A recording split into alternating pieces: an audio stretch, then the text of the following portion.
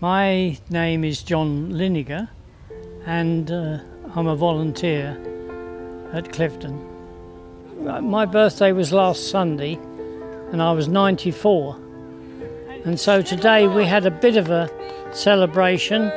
Had two nice cakes and we all sat round as we normally do.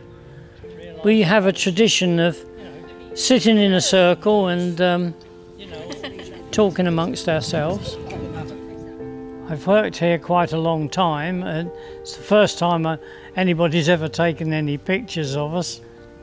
Today we were finishing off cleaning the uh, Borghese balustrade which is on the south front of the house. It's a big project. It takes us about four sessions to clean it there's a lot of brickwork and they, lots of little seedlings grow in and um, make the place look very untidy. So we, once a year, we come along and we clean, clean them out.